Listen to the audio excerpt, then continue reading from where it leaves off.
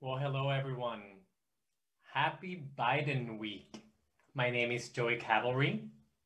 I will be your host uh, for this series of deaf artists backstage interviews uh, in partnership with Gallaudet uh, University's Theater and Dance program, where we get the opportunity to interview deaf artists from all over the country to talk about their journeys, their struggles, and uh, their uh, experiences.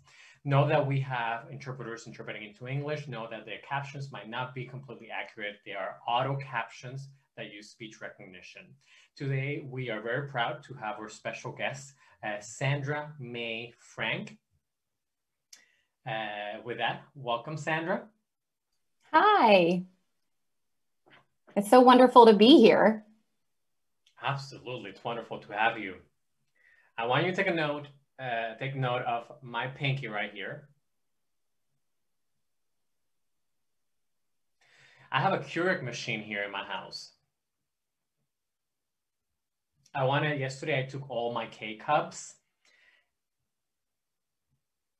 and take all the coffee out of them to recycle them uh, to be environmentally friendly. So I was using a knife uh, to take the coffee out of the K-cup and a poke through it and I have a bit of a pinky injury today. So in the same line, how do you bleed for the environment, Sandra? Ooh, you got me there. Ooh. so Sandra and I have a long history together. Uh, we both went to college at Gallaudet University. And Sandra, if you can take me back to your Gallaudet days, um, seems like you at first were hesitant to be in the theater world. Uh, what caused you to change your mind? Honestly, it was someone named Monique Holt. She has been an actress, an interpreter, a director, an artist, you name it, and she can do it. She's a phenomenal human being. And I had her as my instructor, and she was uh, a temporary instructor at that time. However, it was such a good group of people. She was such a great instructor. And after class, Monique came to me and asked me if I was a theater major. And I told her that I was majoring in English, but minoring in theater because I thought that would be the perfect educational marriage. I could teach during the day and act in the evening. And I sat down for an hour and a half with Monique and talked about performing and being in the theater world about job opportunities, what the stability looked like, everything. But I wanted the honest truth. If I, w- if I wanted to have a stable life and perform using American Sign Language and no spoken English, I wanted to be able to be on TV and work in a stable environment and use my native language. And Monique really brought it home for me and said, it's not any of those things? What do you believe? What do you want to fight for? She really looked at me and asked me what my passion was. And I told her that during these, I was a freshman at this time. This is my freshman year. I had an internship actually during the summer with you, Joey. And that week, I knew that I wanted to change my major. I declared it as theater, and the rest is history. It started in my freshman year, and I knew what I wanted to do. And Monique really helped me get past that fear barrier and just do it. And I think that that's an important contribution to my life is to push past those moments of fear. That's okay to take the risks for the things that you want in life.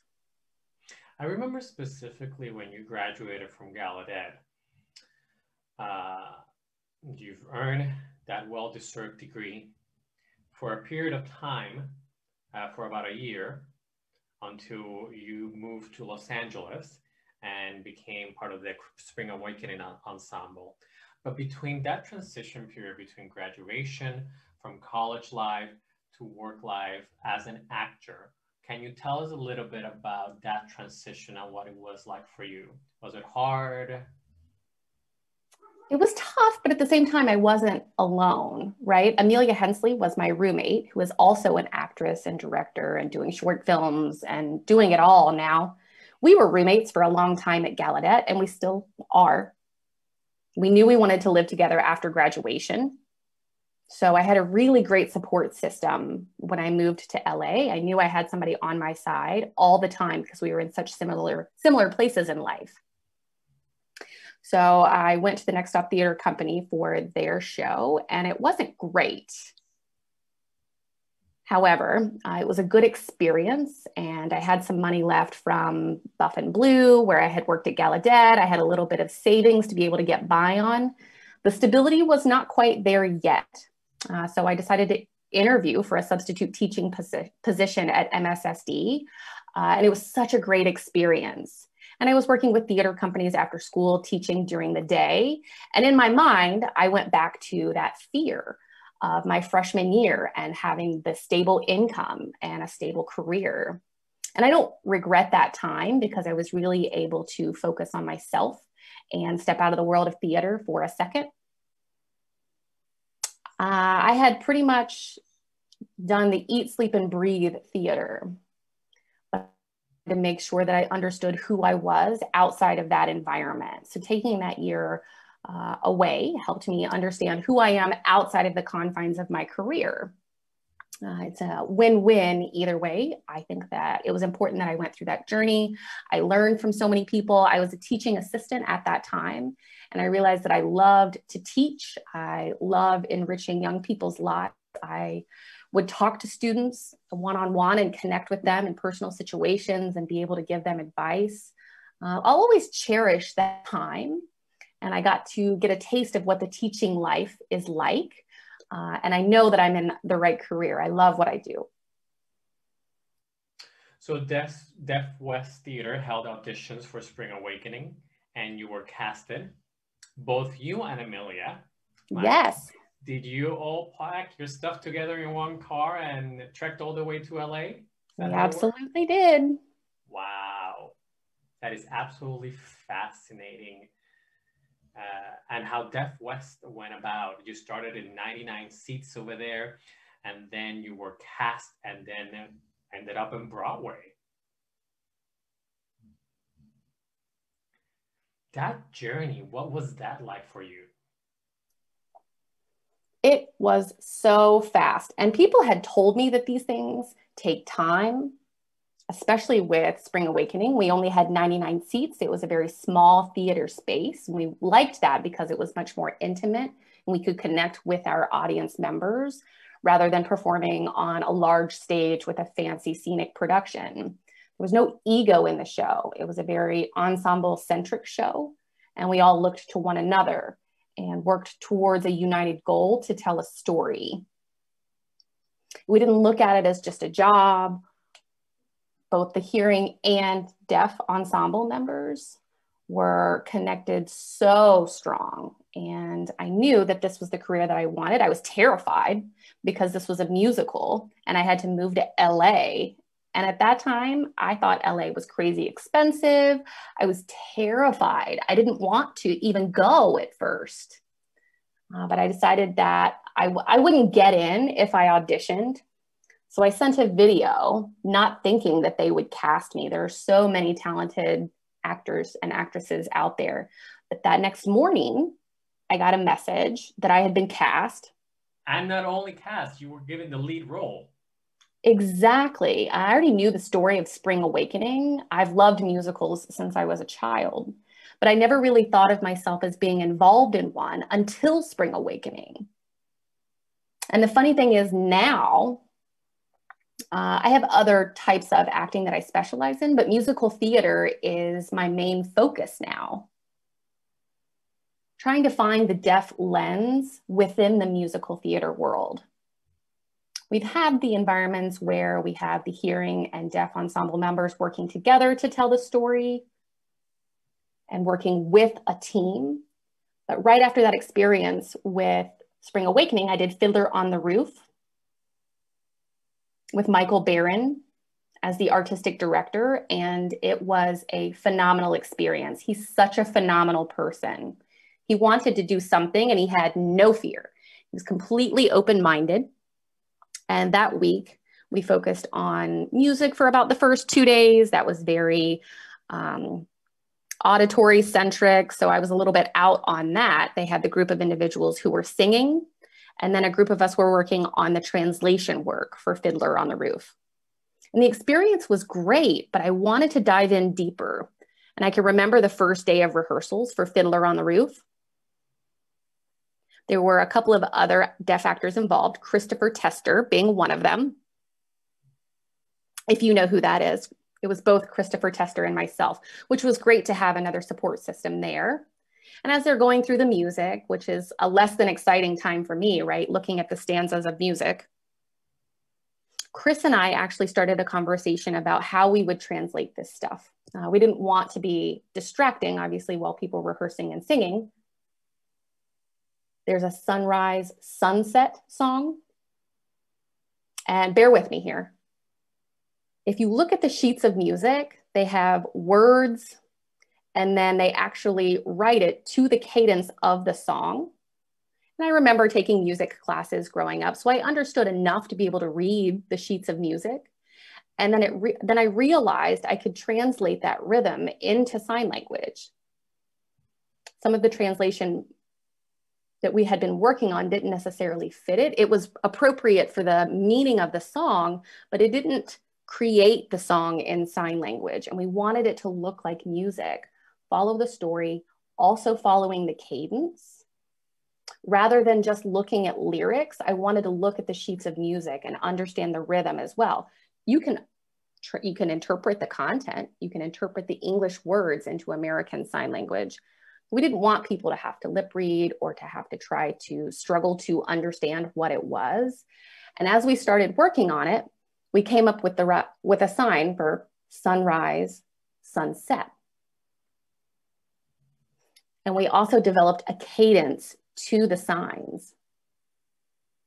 I don't remember whether it was Chris or I that came up with this at the time, but we were so excited with how we were developing the interpretation.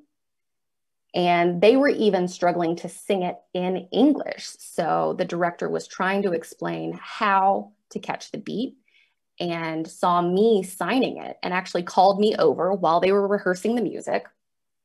I was a little nervous and he said, Hey, why don't you go ahead and sign that again?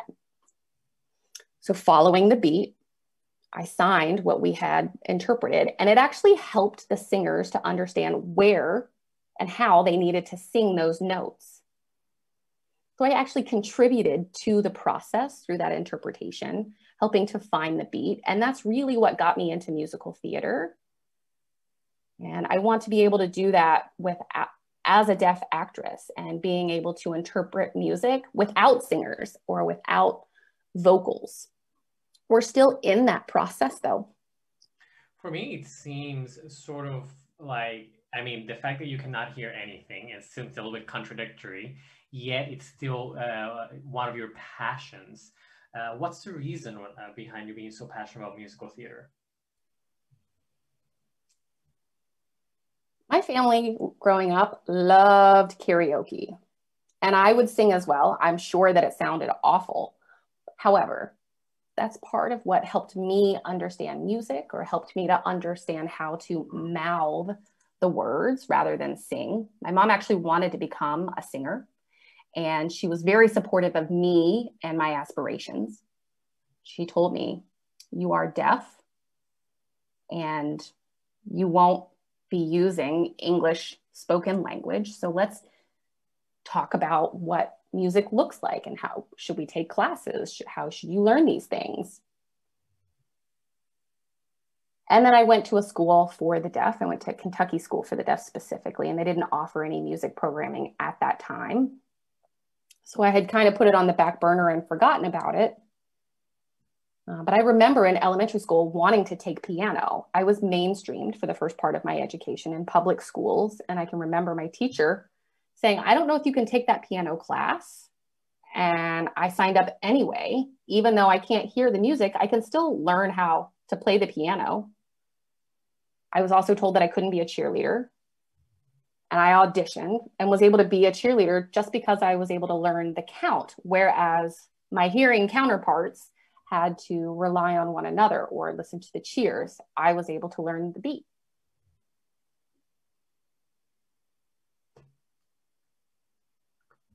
Kirk, who is an amazing individual who had not worked with deaf people previously, too. Having that experience, uh, I had forgotten about it. And it was just as recently as two years ago. Uh, I understand music inherently, and it comes from being able to play piano and take those music courses. And again, I was reading music, so as a similar concept, I could understand the lyrics as well. I realized I had an inherent understanding because I learned so much about it when I was younger. As a young kid, when your brain is developing eight, nine, ten, around that age, you're able to take those things with you forward with you. Nowadays, with language deprivation and all of the things that they tell us that we can't do, we have to learn those things and fight for them as young individuals so that we can remember them. For me, I was very lucky to be able to have those skills ingrained in me. So you were part of the cast of Fun Home, Fiddler on the Roof. Uh, most recently, you were also in Next to Normal. I believe I see the poster right there behind you. Yes, you do. And you also won an award for that role. So big kudos to you. I know. Look how cute it is. It's progress. It's very cute. It's a really amazing moment because this was in Austin, Texas, uh, where I'm a board member, and they partnered with another theater company in Austin, Texas. And this was the first production of its kind, next to normal. It happened last year. It was a mix of hearing and deaf in the ensemble. And we really wanted to show how much we had worked and the partnership. We wanted to be able to highlight that because it opens more doors and provides more opportunities for individuals. There are some staff at that theater company now who understand sign and who can sign because of their involvement in this production.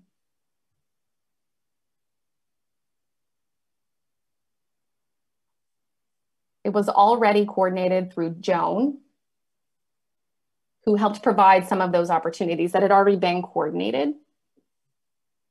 This is now my second year living here, uh, and to have that theater company and they had no experience previous to with deaf individuals, I was able to go and meet with Lisa Ships, the director and she and I connected immediately. We hit it off. Uh, and she was familiar, had seen Spring Awakening as well, and was super open to the idea of, be, of me being involved in future shows without uh, voice interpretation or without voiceover of any kind, but just with captions. Testing out that idea to see whether or not it worked, having a me- mix of deaf and hearing roles. The role was not designed for a deaf person. I decided to just audition to help strengthen and develop their process, as well as create other opportunities for deaf persons in theater in Austin. So you just have to take that initial first step and be able to advocate when you're one of the firsts coming into these theater companies. You have to not think about just yourself, but the future opportunities that you're creating for future deaf performers you can be successful, but it may not last forever. And where is the community that you've created? Where is the pipeline? And where are the doors that you've opened along the way for other people? Shows should have consultants who are deaf and users of American Sign Language and follow those processes rather than just thinking about yourself as a deaf person. I know that after Spring Awakening, your career skyrocketed. Uh, you were in films, you were in television, uh, and a number of shows, and you are gaining more fame and recognition. So my question to you is, is it hard being famous? I wouldn't say I'm famous. I, I don't know I would feel comfortable calling myself famous or how I would answer that. I don't see myself that way. You can't ask me that. no. If I have to answer, no. I, I can't answer that. all right, all right, that's okay. Okay, now we may proceed. So on social media, you have been incredibly vocal and a big advocate of the Black Lives Matter movement and advocating for diversity and social justice.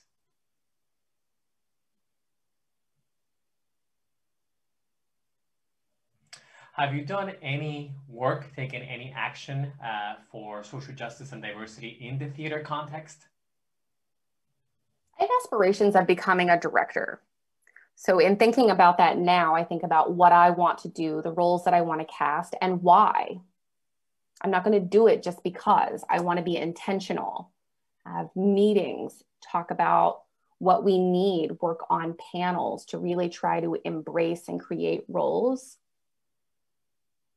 I found some something that's helpful that I would love to share with others. Anytime you're auditioning, ask about the role I want to make sure that I'm not taking this role from persons of color or anyone who is diverse. Really, when people, theater companies say they're looking for someone diverse to fill a role, it often means a very limited number of people. And I didn't realize that those opportunities were limited for persons of color.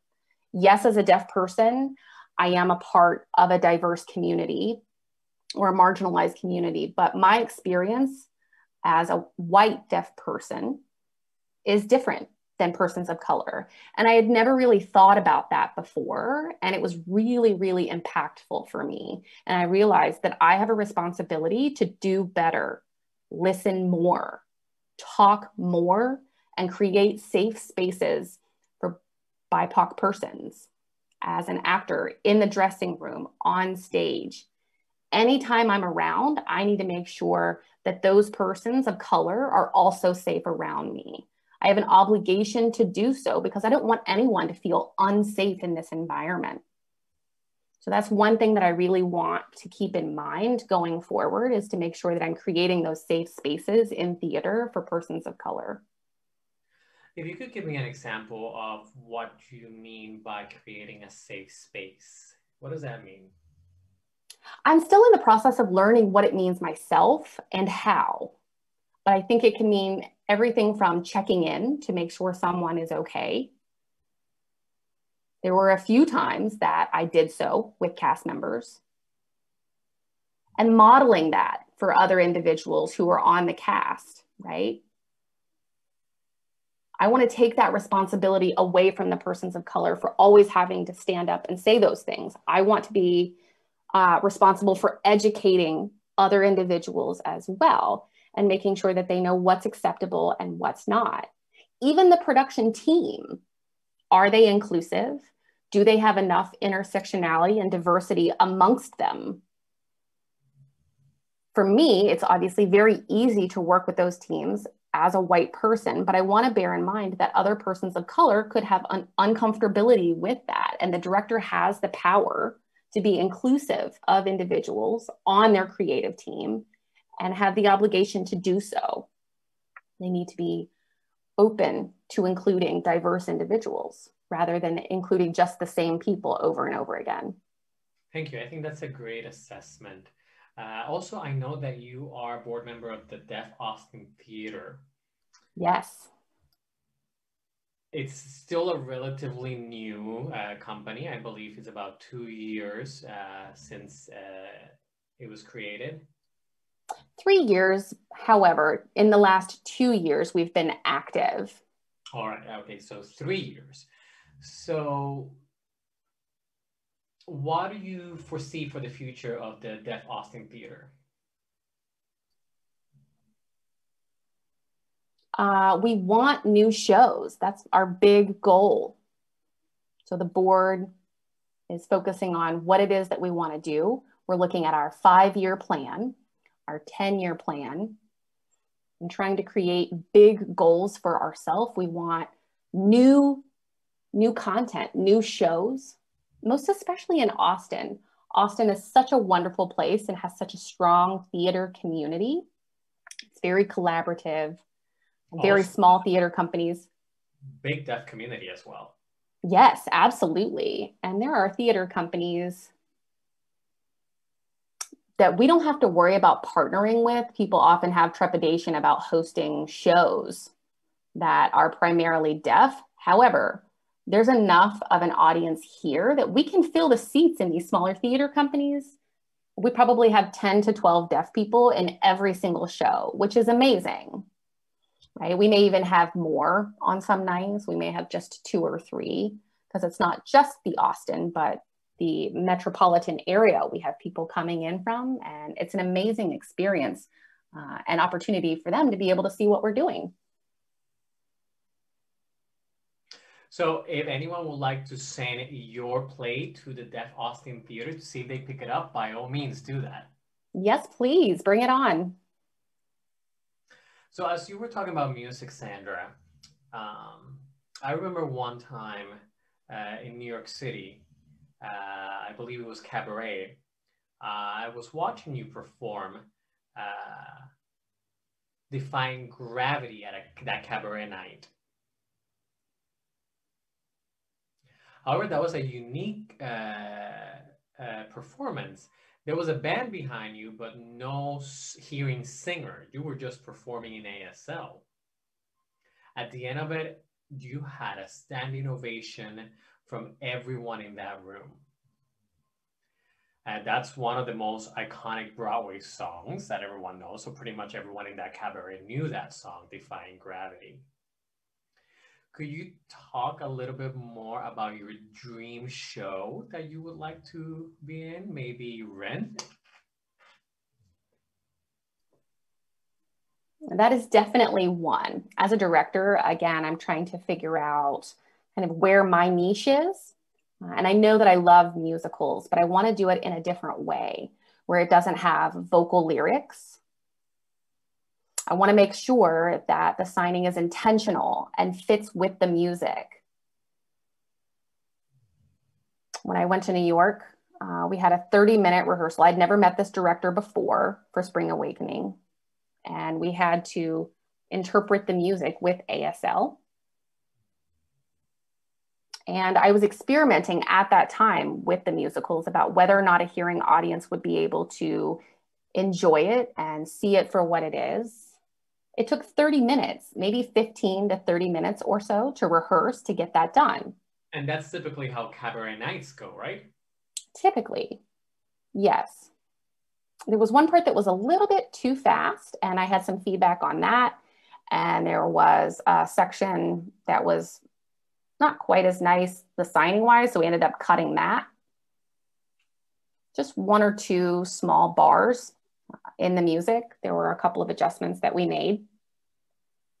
And I worked together with this director. And of course, I was freaking out and nervous right before I went on stage. I don't think that that feeling's ever going to go away. I wanted to make sure that the audience understood what I was signing, wanted to make sure that I was following the music. This is my dream. I want deaf actors to all have that feeling to to feel free and most especially through the song Defying Gravity. I'm not opposed to vocal lyrics, uh, but I don't want to be bound to them. When you're signing, it's harder to connect to the music if you're trying to follow the vocal lyrics. And that's always something that had bothered me. Even though I can't hear it, the audience is looking to the singer as well as me. And in musicals, I wanted to be able to represent that in sign language. Rent, a multitude of Broadway shows that hearing individuals have seen, know all of the lyrics to. I want to change up and offer in a different way. And those audience members will come. I am confident that those hearing non signing people will show up to this theater because these are popular shows. We were able to do one song and it only took about 15 to 30 minutes of rehearsing. So it was really my first exploration into it. Okay, I'm going to put you in the spot here. Uh, what are you doing to make sure that happens?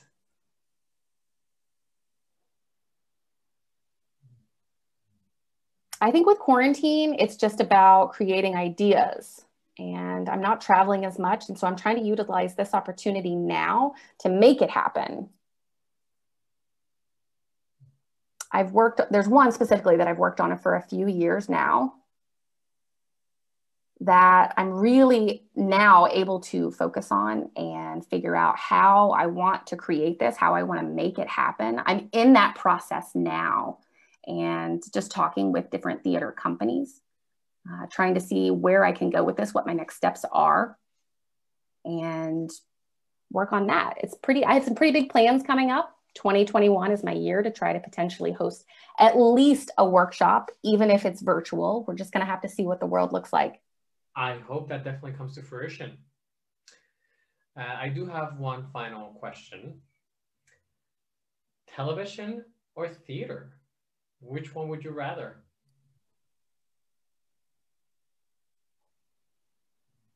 I think that it depends on context. I love film if I had to choose because film doesn't have voice actors. And I'm really able to just do me focus on the character, focus on that character's relationships.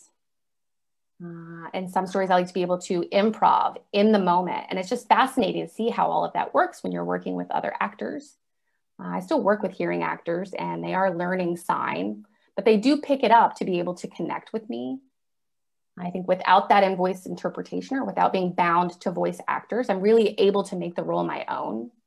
Uh, I think that I'll always find myself going back to theater. Uh, I would love to have that balance.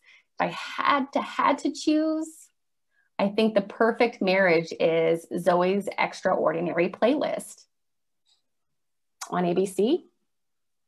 It aired last spring, and it's a TV show that is a musical.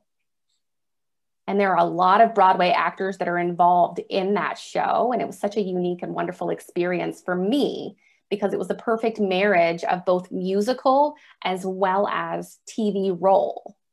If I had to choose one, I think that that specifically would be it. So before we wrap up for today, I uh, that uh, piece of art behind you, Sandra. Can we see it? What is that? This was some fan art that was given to me during Spring Awakening, and I love it so much. That's awesome. That's a beautiful piece of art. They included the voice actors, they included everyone from the deaf ensemble in Spring Awakening. It's amazing. So again, like I said, right before we uh, we're about to wrap up, but any piece of advice that you would like to share with uh, our young viewers today who are interested in pursuing theater? Follow your passion. That's what's critical in life. You can't do anything successfully without that passion. And with passion comes hard work. It's not easy to dig in and to try to figure this stuff out. However, don't wait especially now in an online world, if you're a writer, write, create a show, do something rather than sit still until the world reopens. Take that first step, do something.